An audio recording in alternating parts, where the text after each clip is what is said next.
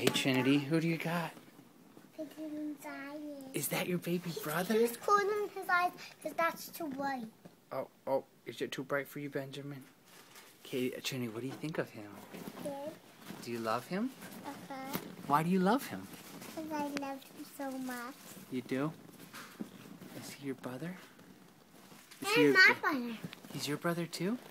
Do you want to hold him too, DJ? Yes. Is that too bright for you? Yes. Look at Benjamin. Oh, here, get in the picture, DJ. Oh, that is so sweet. Look at those cute kids. Here, I'm gonna